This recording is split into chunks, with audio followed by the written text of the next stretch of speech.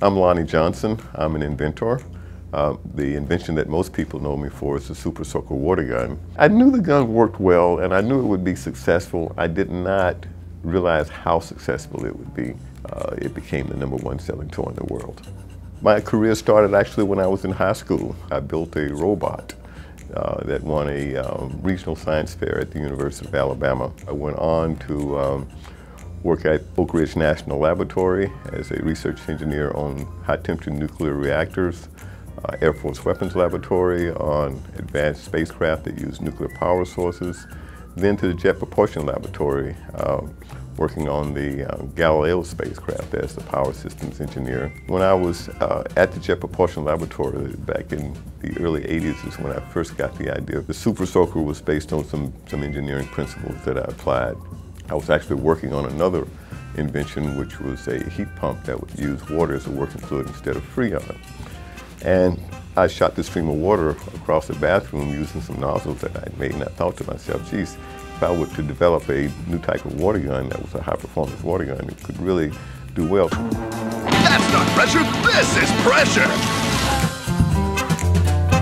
Initially, I wanted to manufacture the gun myself, but when I went to a plastics injection molding manufacturing company and talked to them about the parts that I needed, what I needed to have made. It turned out it was going to cost about $200,000 to get the first thousand guns produced. And I thought to myself, I was an officer in the military at the time. I didn't have $200,000 in cash laying around. I decided to come to New York, present um, my uh, ideas at Toy Fair, try to find a manufacturer that I could work with. And it was there that I met the people at Larami. They invited me to come to their headquarters in Philadelphia. It took about two weeks to build the gun. And as soon as it was finished, I called the guy up at Larami because I didn't want him to forget my conversation. I got my suitcase and went in, and of course I had my prototypes in the suitcase. I opened it up, and they asked to see what I had, and I uh, showed them the gun. They said, uh, well, does it work? How well does it work? So I pumped it up and shot it across the conference room. The president of the company said, wow, you know, and that was it. I knew I captured their imagination, and the rest is history. Actually, the first year it was called Drencher. It was not called a Super Soaker. Someone claimed the name of Drencher and wanted us to pay royalties on that, and so we changed the name. That's when we came up with the name of Super Soaker.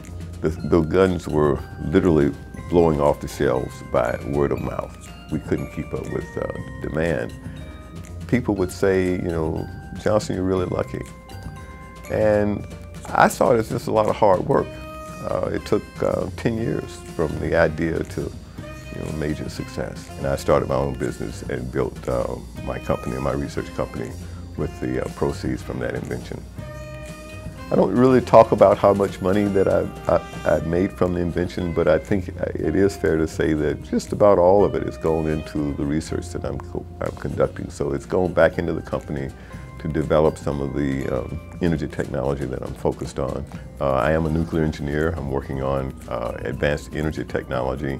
I have a new type of engine that converts heat into electricity, and I've also developed a new type of battery that's all ceramic without liquid electrolyte. The other toy gun that was on the market and enjoying major success was these Nerf dart guns. It's Nerf or nothing. And I wanted to have that part of the market too. So I started developing Nerf dart guns, and I've developed guns that outperformed uh, the guns that Hasbro had on the market at the time. And eventually ended up doing a deal with Hasbro to license um, my dart guns. And at that point, um, I literally was the king of all toy guns.